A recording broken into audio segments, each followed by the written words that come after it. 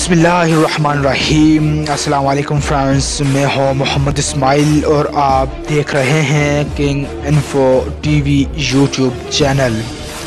حاضر ہیں series major world wars کے پہلے ایپیسوڈ کے ساتھ۔ فرینڈس اس ایپیسوڈ میں ہم کنٹینیل وار یعنی کہ صد سالہ جنگ کے بارے میں جانیں گے۔ یہ جنگ کیا تھی؟ کن کے درمیان تھی؟ کیوں تھی؟ اور کتنے عرصے تک رہی؟ اس تاریخ کے اس کے بارے میں دو پہلو ہیں۔ کچھ تاریخ دان لکھتے ہیں یہ جنگ 1331 ٹو 1453 یعنی کہ تیرہ سو اکتیس سے لے کر چودہ سو ترپن تک رہی۔ لیکن بعض مورخین کے مطابق یہ جنگ 1331 یعنی کہ تیرہ سو اکتیس سے نہیں، بلکہ 1337 یعنی کہ تیرہ سو ستیس سے شروع ہوئی اور چودہ سو ترپن میں ختم ہوئی۔ یورس اس کی شروعات میں کچھ مرخین آپس میں اختلاف رکھتے ہیں، لیکن اس جنگ کے ختمی اس سال کو سب مرخین اس پر اتفاق کرتے ہیں۔ اگر یہ جنگ 1331 یعنی کہ تیرہ سو اکتیس سے چودہ سو ترپن کے درمیان ہوئی، تو اس جنگ کا دورانیہ تقریباً ایک سو بائیس سال بن جاتا ہے۔ جبکہ اگر یہ جنگ تیرہ سو ستیس یعنی کہ تھرٹین تھرٹی سیون سے ہوئی، فورٹین ففٹی تھری تک، تو اس جنگ کا دورانیہ ایک سو سولہ سال تک بن جاتا ہے۔ وہ بس دونوں صورتوں میں یہ ایک بہت ہی طویل جنگ مانی جاتی ہے اور بہت ہی طویل جنگ ظاہری ہے۔ کیونکہ ایک صورت میں ایک سو بائیس ہے، جبکہ دوسری تاریخ کے پہلو میں یہ ایک سو سولہ سال لمبی جنگ ہے۔ اس جنگ کی ویوز بنیادی وجہ انگریز بادشاہوں کا فرانسیسی علاقوں پر قبضہ فرانسیسیوں سے کچھ دوسری باتوں پر مترازہ رہا۔ لڑائی کا یہ سلسلہ جنگ صد سالہ کے نام سے تاریخ میں جانا جاتا ہے۔ یہ لڑائی اس وقت فرانس کے راجہ چارلس چہارم یعنی کہ جو وہ تیرہ سو اٹھائیس میں فوت ہو گیا۔ تو پھر اس کے نو سال بعد تیرہ سو ستیس یا پھر اس کے تین سال بعد تیرہ سو اکتیس یہ تاریخ کے دونوں پہلو ہیں۔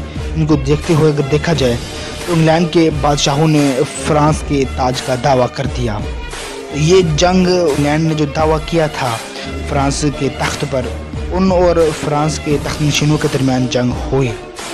یہ صد سالہ جنگ فرانس کے مقابلے میں انگریز یعنی کہ انگلینڈ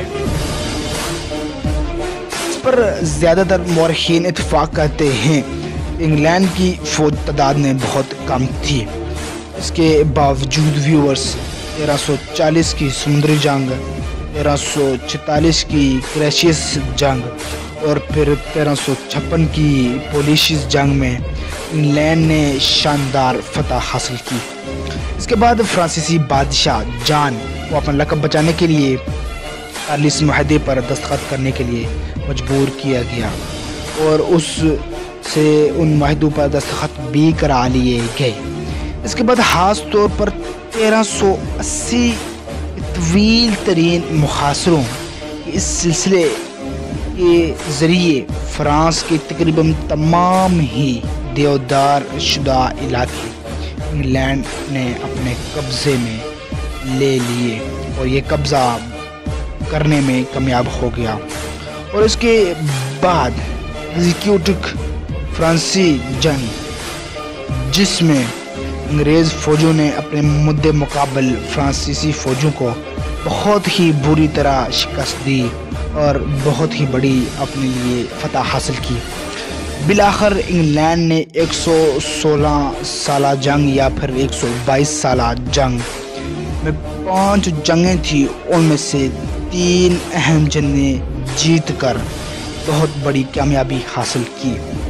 اور ویورز پھر یوں ایک سو سے زائد سالوں پر یہ مخیط خون ریز جنگ، جس میں بہت سارے بے گناہ لوگوں کو بھی خون بہایا گیا، اس کا سلسلہ بلاخر ختم ہوا۔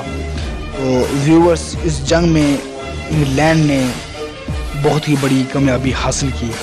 تو ویورس امید کرتے ہیں آپ کو ویڈیو پسند آئی ہوگی۔ پسند آنے کے ساتھ میں ویڈیو کو لائک چینل کو سبسکرائب کریں۔ ملتے ہیں ایک نئی ویڈیو کے ساتھ۔ تب تک کے لیے اللہ حافظ۔